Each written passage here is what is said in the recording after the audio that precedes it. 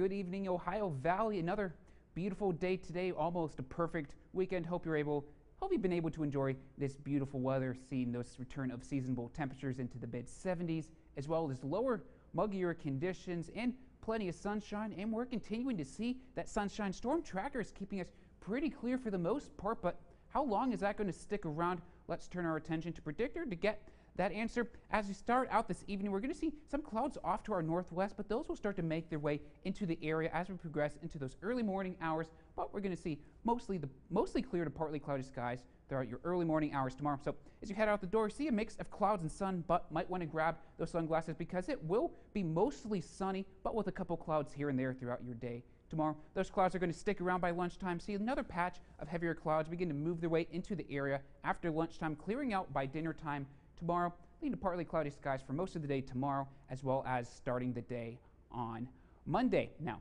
saw those seasonable temperatures today in the mid 70s, so sitting pretty seasonable today. But what's really been catching my attention has been those low temperatures the past couple of nights. We've been sitting pretty pretty much below normal, 5 to 6 degrees below normal. And we're going to continue that tonight. Low of 52 here in Wheeling when we normally sit at 55 or 56. Some areas could even be sitting into the upper 40s as well. But perfect night tonight to turn off the AC, open up those windows, thanks to those cooler temperatures, as well as the, those drop in muggier conditions.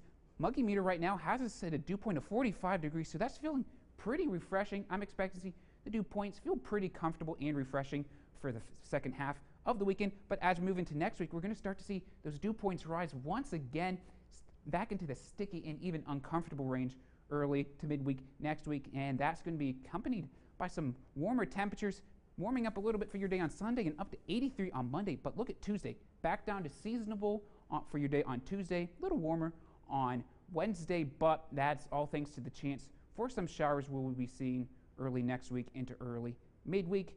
Looking at looking at those chances of showers, likely showers on Tuesday with a couple rumbles of thunder as well as on Thursday. A couple spotty showers for your day on Wednesday. However, most areas will remain dry for Wednesday, as well as a chance for some showers as well on Saturday. But I'll make sure to keep my eye on those showers and keep you updated as we move throughout the weekend. And turn your attention to that seven day forecast starting out sunny for the end of your weekend. A little warming up as we begin the week next week. 83 on Monday.